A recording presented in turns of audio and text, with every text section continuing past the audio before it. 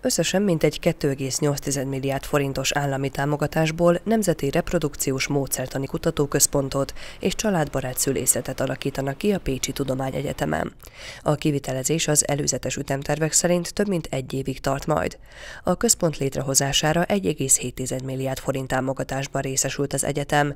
Ennek keretében 660 négyzetméter új építésű terület valósul meg a mesterséges megtermékenyítést szolgáló reprodukciós központban. Hosszú évek óta jól működünk, de ennek egy, egy kapacitás növelése fog megtörténni, illetve ez ki fog egészülni egy a egyetemnek, illetve a klinikának a jelentős profiljához tartozó kutatói tevékenységet is ellátó laborháttérrel.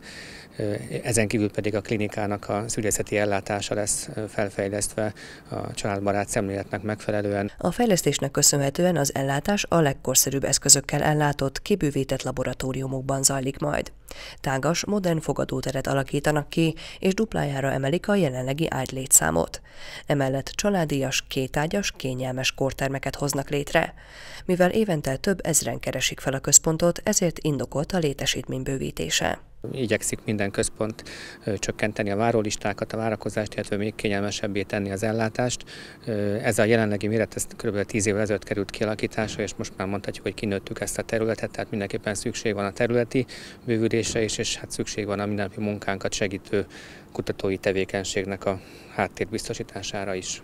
Ugyancsak teljes egészében korszerűsítik a gyermekágyas osztályt, az összes szülőszobát, az intenzív osztályt és a császármetszés utáni édesanyák megfigyelésére szolgáló kórtermeket is. A több mint száz éves klinika déli homlokzatának teljes körű felújítása is megvalósul a projekt keretein belül.